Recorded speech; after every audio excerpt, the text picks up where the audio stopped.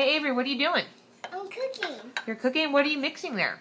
Uh, what what is this, Mom? Um, it looks like it's water. Water. Yeah, are you helping Daddy by mixing the water? Daddy, what are you serving? Careful. Just some water too, honey. Yeah, here, Avery. What are you wearing on your head again?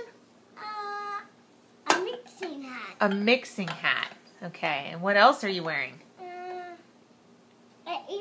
That's great. What do we do today, Avery?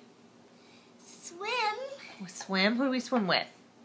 Honey and Emily. Mm-hmm. Is this the salt? That's the salt. Would you like to sprinkle in a little salt into your to your dish? Okay.